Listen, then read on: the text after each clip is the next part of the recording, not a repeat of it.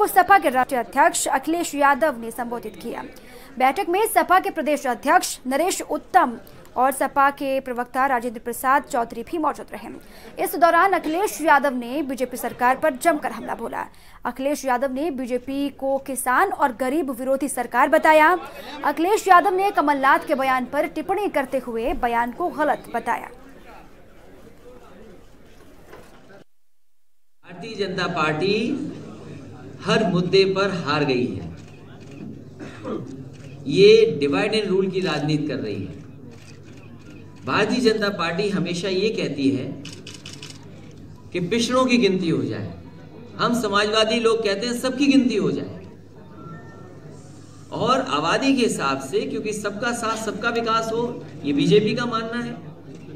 तो हम भी ये चाहते हैं कि सबका साथ, सबका विकास हो, आबादी के हिसाब से सबको गिन लिया जाए और आबादी के हिसाब से हक और सम्मान मिल जाए।